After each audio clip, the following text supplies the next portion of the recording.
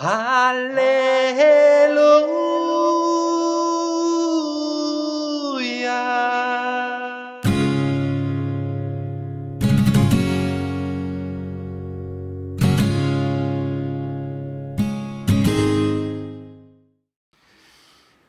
Well, today we enter into week four in a series on the book of Jonah titled Unbelievable Grace. Over the past three weeks, we have seen God's grace in operation towards Jonah, towards the sailors, and also toward us. In week one, we called each other to stop running from God and to respond to the good news of Jesus again. In week two, we saw God's relentless pursuit of you and me and a call to surrender ourselves fully to Him and His way in our lives. In week three, we looked at Jonah's prayer in the belly of that great fish and how we too can cry out to our God who cares during the darkest of times. Around every corner in the book of Jonah is this God who pursues and who cares deeply for humanity. I think about these folks I knew who lived in the UK, and their church decided to do something totally different in order to show that God cares about humanity. So they went and they had a sign made that was at least 20 feet wide. And on that sign, it was very simple. It said these words People are important. And they went out into their city, into the traffic circle in the center of town, and they took 20 or so people from the church. And on a regular basis, they would go out and they would stand in this traffic circle, hold up this huge sign, and wave to traffic as they went by. Trying to help people see that God says they are important, to try to help them to consider who God is.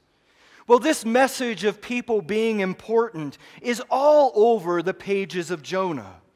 Jonah is important to God to the point where God kept pursuing him. God cared for the pagan sailors. God cared enough about the people of Nineveh that he sent Jonah to them. This idea of people being important can reframe the good news for us, and especially how we share the good news. Usually, we start sharing the good news of Jesus with someone by reminding them that you are a sinner. That's our starting place. You know, that is an absolute truth, isn't it? That is a biblical truth that yes, you and I, we are sinners. We start by sharing the good news by looking at Genesis 3, starting with the fall. I mean, think about those gospel bracelets. Maybe you've had one before a piece of rope or a piece of string, and it has all these different colored beads on it to share the gospel. What is the color of the first bead typically on there? Black. You are a sinner. That's where we start, right? But what if we backed up a bit? What if we showed God's heart as it is shown to us on the pages of the book of Jonah? What if we started with, You are important to God?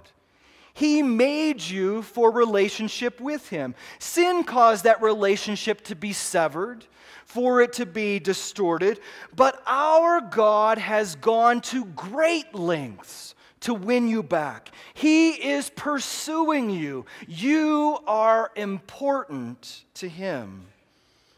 The book of Jonah keeps us directed towards this God who pursues with compassion because we are important to him. Today, let's read Jonah chapter 3. If you have a Bible with you, you can turn there. The title this morning is Back on God's Mission. Here's what we read Then the word of the Lord came to Jonah a second time Go to the great city of Nineveh and proclaim to it the message I give you. Jonah obeyed the word of the Lord and went to Nineveh. Now, Nineveh was a very large city. It took three days to go through it. Jonah began by going a day's journey into the city, proclaiming, 40 more days and Nineveh will be overthrown. The Ninevites believed God.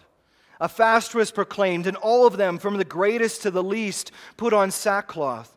When Jonah's warning reached the king of Nineveh, he rose from his throne, took off his royal robes, covered himself with sackcloth, and sat down in the dust. This is the proclamation he issued in Nineveh. By the decree of the king and his nobles, do not let people or animals, herds or flocks taste anything. Do not let them eat or drink, but let people and animals be covered with sackcloth. Let everyone call urgently on God. Let them give up their evil ways and their violence. Who knows? God may yet relent and with compassion turn from his fierce anger so that we will not perish. When God saw what they did and how they turned from their evil ways, he relented and did not bring on them the destruction he had threatened. Father, we pray you would speak to us through your word today. Challenge us and change us, we pray in Jesus' name. Amen. Jonah gets back on track. The first time when God called, Jonah chose to run away. He wanted to do his plan for his life. But now, after rebellion, a storm, and a stay in the great fish, Jonah is ready. God did not look, go looking for someone else when Jonah failed, but rather God called Jonah a second time, and Jonah said yes. Here on the pages of the book of Jonah, we see that to obey God is to be caught up in God's mission. To obey God is to take part in his mission as Jonah does. So this morning we will look at three ways that we can grow in obeying God's call to his mission. The first idea is in verses 1 through 3 we read, Then the word of the Lord came to Jonah a second time Go to the great city of Nineveh and proclaim to it the message I give you. Now, Nineveh was a very large city. It took three days to go through it. The first idea is to engage my mission field. How do we obey God's call? Uh, engage my mission field. Jonah is now ready to obey. Listen to God's simple instructions to Jonah. One, go to the great city of Nineveh. Two, proclaim to it the message I give you. Jonah was to go and share God's message and God's heart. This is God's mission for all of us, isn't it? We are to go into all the world and proclaim the message that He has given to us, the good news of Jesus, proclaiming it in word and deed. But consider the huge scale of Jonah's mission for a moment. God tells Jonah, just like he did in chapter 1, verse 1, that he is to go to that great city. The great city of Nineveh was the capital of the enemies of Israel. Imagine being called to Baghdad or Riyadh or Tehran or Beirut. Nineveh was also a city of sin, a city filled with wickedness. Imagine being called to Las Vegas or Amsterdam, maybe Bangkok or Rio. Nineveh was also the capital of the greatest empire of the day. Imagine being called to DC or Moscow or Beijing. Nineveh was also a huge city. It took Jonah, we read it was three days' travel to go through it. Some scholars believe there were as many as 1.4 million people living in Nineveh in that day, 400,000 of them there to work on the great construction projects. Suddenly, you find yourself in a huge city outside of your culture, and as far as you know, you are the only believer in a sea of 1.4 million people. But God said, Go and Jonah went. I would love to know what Jonah did when he got there. He was an outsider, he would have stood out, he was alone. Yet he would need to engage this city that he was called to. What is your mission field this morning? Uh, maybe you are a business person. Welcome to Nineveh. Maybe you're a missionary. Welcome to Nineveh. A student. Please know your Nineveh awaits you. Wherever God has placed you, He calls you to engage. I know it is scary being around people who look different and think different and talk differently and have different beliefs and maybe live immoral lives. But I believe on the, the message on the pages of Jonah is simple and clear get over it. God said, Go. And so we are called to go like Jonah went. At least he got it right the second time around, right? And when we are on that mission field, when we do go, we are then called to engage there. I think about my neighborhood where I live, and we felt God call us to live there. We love where we live. But let me be honest with you for a moment. I often do not live in that neighborhood. I simply sleep there. I don't know our neighbors. I close our gate and I stay behind our wall far too much of the time. Am I truly engaged where God has called me to be present? A while back, I knew a family who moved to do missions. They were full of fire and passion. They went to the place where God had called them to be. And they are great people, they are amazing people. But when they hit the ground, culture shock and culture stress grabbed a hold of them. They started disengaging. They started trying to live an American life in a very hard place. They hid in their house. They only ate American foods. They ran around the city trying to create comfortable experiences for their kids that would remind them of home. They published every negative thing that ever happened to them on Facebook so that friends in America could give them feedback about how much they are sacrificing and how proud of them they are, how proud America is of them. They lived in a foreign country, but they were not present there. They heard God say, Go, and they went, but they never engaged. And eventually, you know the end of the story. Eventually, they moved back to the U.S. and, and tried to remake their life there. You know, I wonder what barriers Jonah faced in trying to engage. I wonder what sights and sounds in Nineveh shocked him. I wonder what foods turned his stomach, or what actions of wickedness totally repulsed him at the first glance of them in Nineveh. It did not matter, though. Jonah heard go, and he went as one fully engaged. To more fully engage in our mission field, I believe there's a question for us to ask. This is the first of three questions for us to ask of ourselves this morning. That question is How has God remade you for this people he has called you to? I believe God has us on mission wherever we are, every moment of every day. But like for Jonah, God has remade us to go to certain people. Remember, Jonah came out of the whale different than what he went in. God has also shaped us in unique ways to be in a field that he calls us to. He gives spiritual gifts to us or an increased heart for a certain group. He gives certain abilities or a personality that makes you the best suited person to share in your situation. He has led you through life experiences that allow you to share in a more meaningful way than anyone else. God used the whale to reform Jonah to go to Nineveh, and God has remade you and I to engage in his mission field wherever he has put us. It is about the whole of what God is doing in us heart, soul, and mind. We can no longer use the excuse, well, anybody could be here in this place and be on mission.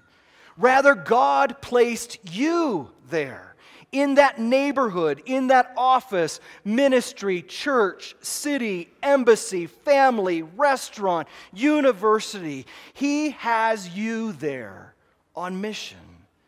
And He has remade you and I to engage in those places. So we go, fully engaged, while listening for what God would have us to proclaim. The second idea is in verses 4 to 8. Jonah began by going a day's journey into the city, proclaiming 40 more days and Nineveh will be overthrown. The Ninevites believed God. A fast was proclaimed, and all of them, from the greatest to the least, put on sackcloth. When Jonah's warning reached the king of Nineveh, he rose from his throne, took off his royal robes, covered himself with sackcloth, and sat down in the dust. This is the proclamation he issued in Nineveh. By the decree of the king and his nobles, do not let people or animals, herds or flocks, taste anything. Do not let them eat or drink, but let people and animals be covered with sackcloth. Let everyone call urgently on God. Let them give up their evil ways and their violence. How do we obey God's call on mission? We call for God's change. Remember God's instructions to Jonah go and proclaim the message that I give to you.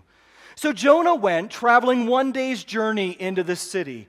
But as Jonah went, he was delivering the message that God had given him. God warned the Ninevites through Jonah. God did not warn them so he could put some fear in them before he just destroyed them and wiped them out. Rather, God warned them so that they might change. Now, this is a radical message for Jonah to proclaim to wicked Nineveh. Jonah's message is a call for God's change in Nineveh. Jonah is not just telling them, you guys need to get a little bit better. He is not trying to do some small reforms here and a little bit of adjustment there. Rather, Jonah's message is for God sized change in the whole of society. He tells them 40 days and this city will be no more. This would, have not, this would not have been a popular message. I imagine the Ninevites liked things the way they were massive empire, metropolitan city, great economy, massive building program. They were acting like gods in cooperation with the gods of progress and power. But may we never underestimate what God is doing behind the scenes. We often stop short of calling people to turn to God because we think we already know how they will respond.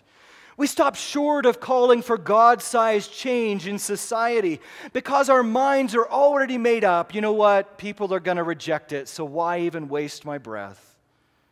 But watch how God is at work behind the scenes, drawing people to himself.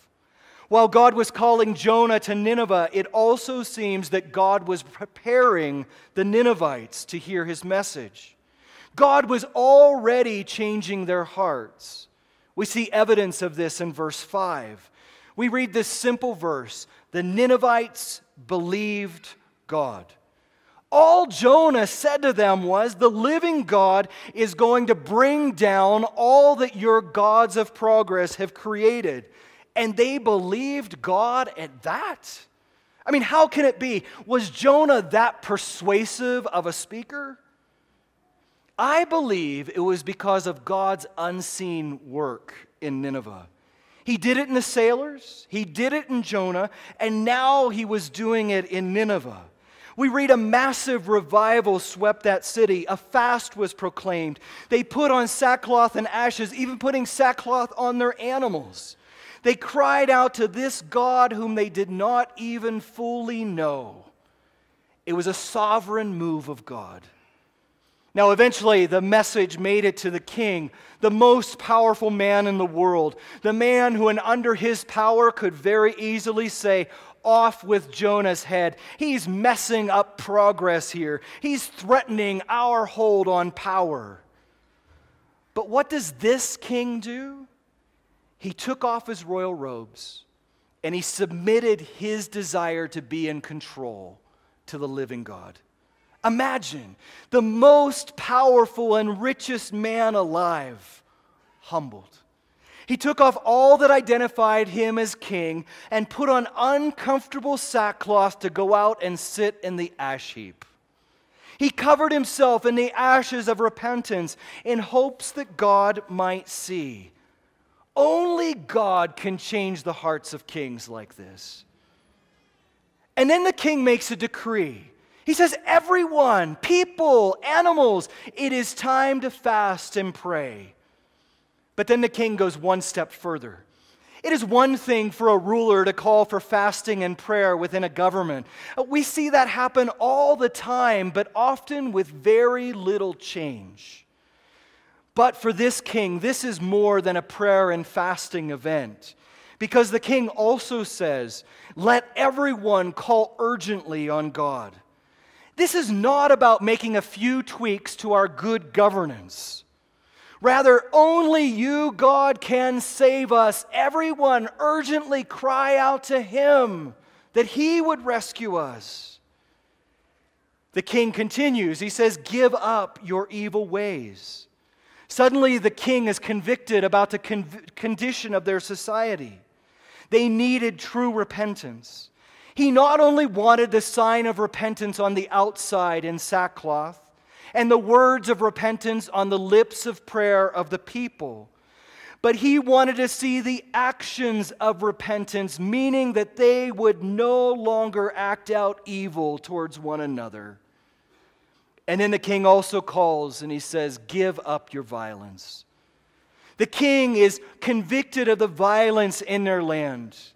Now, over the last couple of hun- couple hundred years, we know fully about bloody rulers and bloody regimes and those who resort to violence in order to stay in power.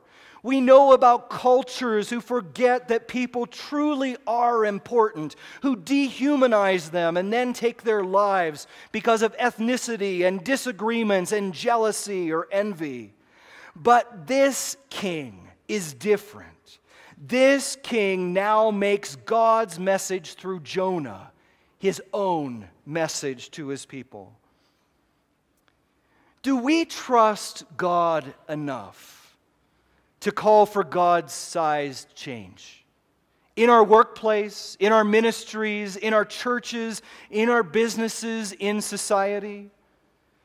Let's face it, oftentimes we simply allow the status quo in our lives. We know that speaking up could cost us our jobs or our status or our positions, maybe even our lives. But we also know that what we see does not honor God. It is hurting people and causing injustice rather than fighting against injustice. But often we lose our trust in Him. We forget that He is working behind the scenes in people's lives. If He puts in our hearts a message to proclaim, we need to trust that He has prepared the ground and He will use it. Now, before we go about changing the world, there's another question for us to ask, though. This question is How does God want to change me? Jonah did not set out to change the world or Nineveh. Jonah was just the man called to obey God with God's message. Jonah simply obeyed, and the Ninevites believed, and the king called the whole land to repentance. But before God called the Ninevites to repentance through Jonah, he first called Jonah to a change of heart. How does God want to change you and me? How might he want to change my heart? When I am changed, then I am ready to simply obey and play my part. Then I can hear his voice and make it known, calling for his change around me. But I need changed first.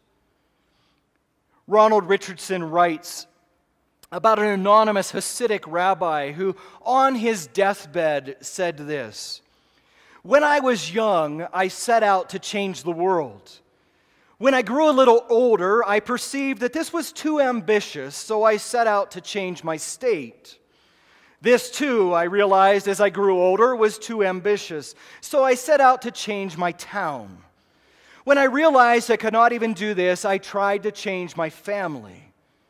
Now, as an old man, I know that I should have started by changing myself.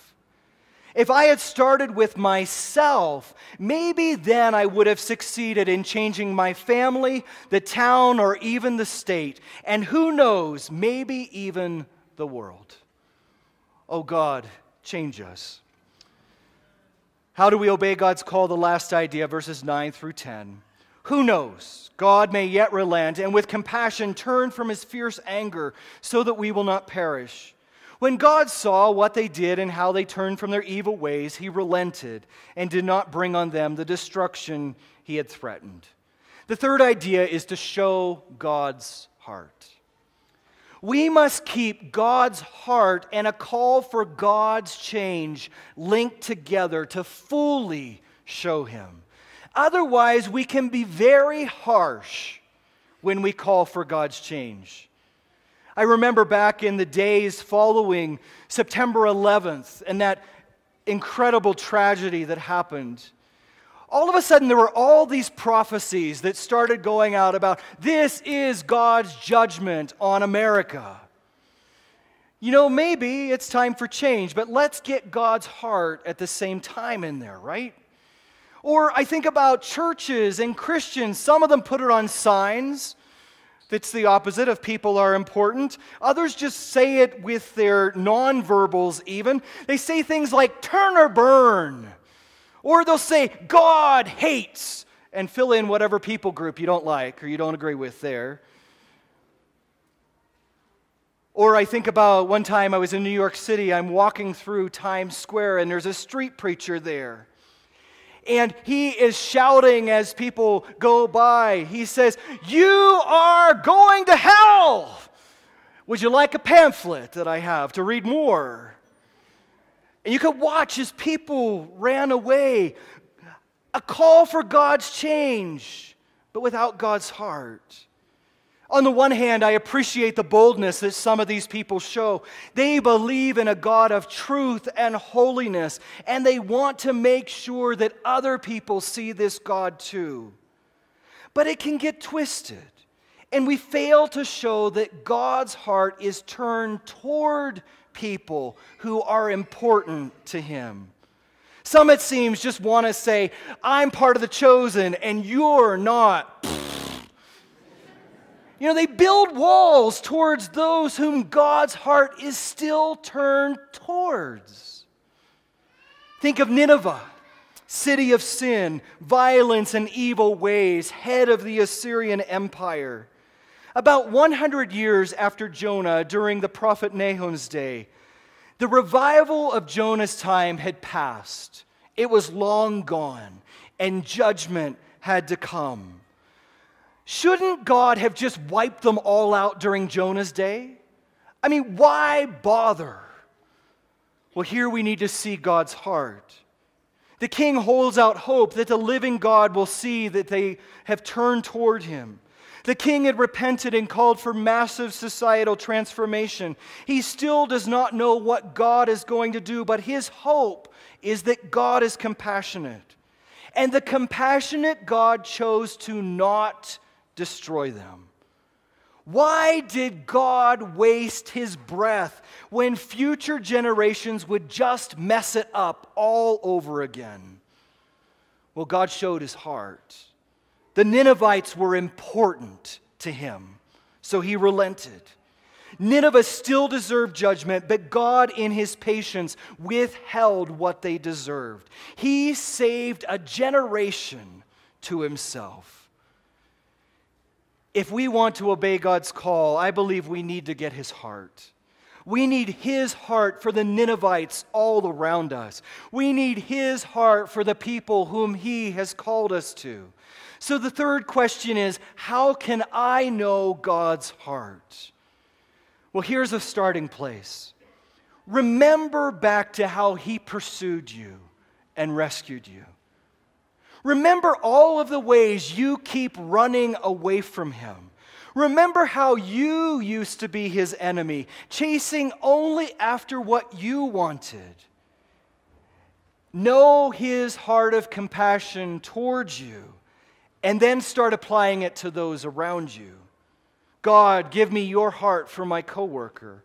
God, give me your heart for this challenging leader. God, give me your heart for this segment of society that keeps moving deeper and deeper into immorality. God, give me your heart for the person sitting in front of me this morning whose lifestyle I do not agree with. God wants to give us his heart. He longs to see people repent and turn toward him. His heart is that none would spend eternity outside of his presence. His heart is to cleanse and restore. People are important to the living God. So people should be important enough to us too that we would reveal his heart to them.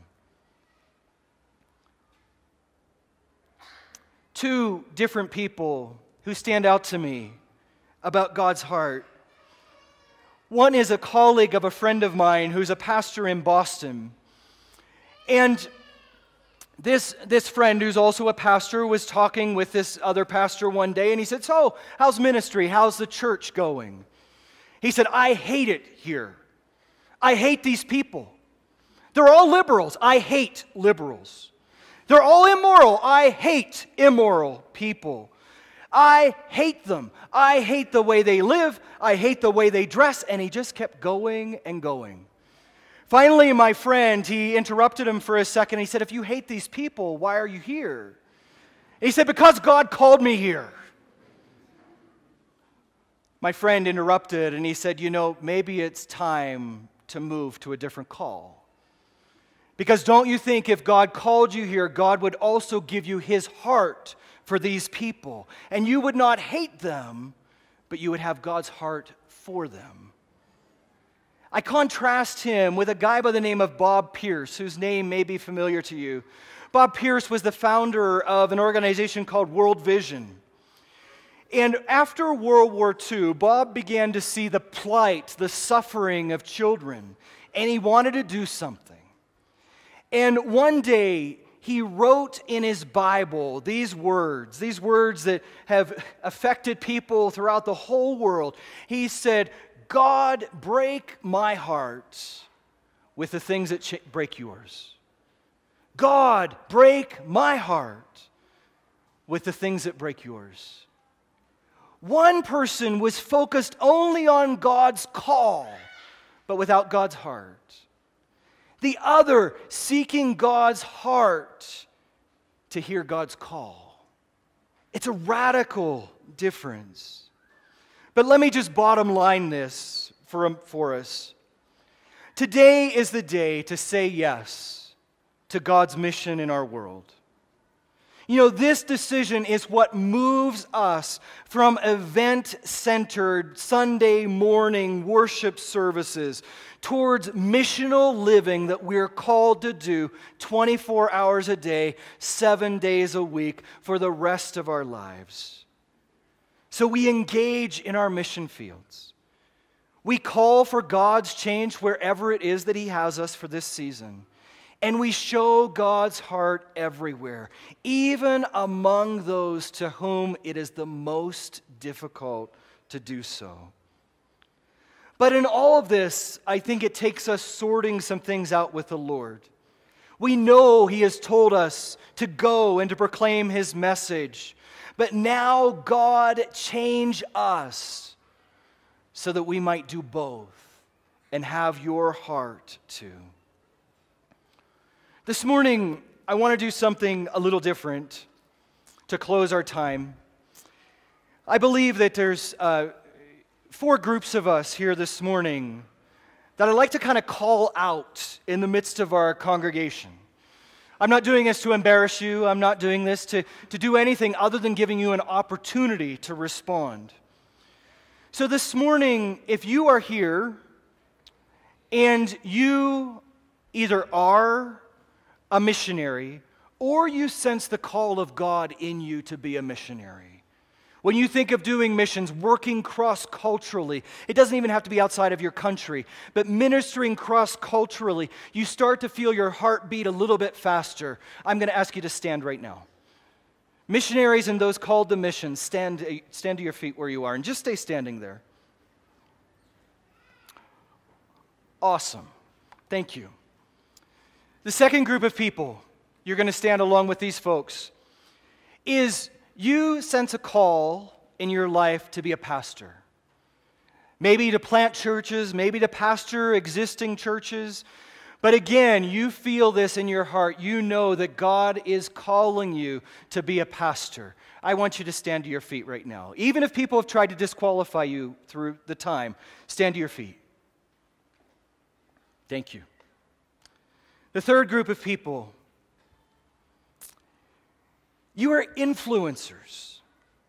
You find yourself in settings where it's all about the status quo. But you know that God has put you there and God has called you and He has put a message in you to call for God's change in that agency, in that government, in that workplace. I want you to stand to your feet right now. Amen. The last group of people, this one's going to sound negative, but it's not, because I'm asking you to respond to something positive. But you sensed God's call along the way. You still sense his call, but along the way, you lost his heart. You got tired and you kind of stopped caring. And I think the Holy Spirit wants to refresh you this morning. So if that's you, would you just stand to your feet? Again, there's no shame, there's no condemnation. You're just responding to something good. Amen. Thank you. Thank you. Let's pray. And if you're seated by someone who's standing, if you would just pray for them while we pray. Father, we thank you for your pursuit of us, and I thank you for every person who is standing this morning who has responded to your call in a certain way. And Holy Spirit, I invite you now to come and fill fresh and full. We thank you for your anointing on people to do certain tasks in very difficult places, and we reaffirm that calling and that anointing this morning.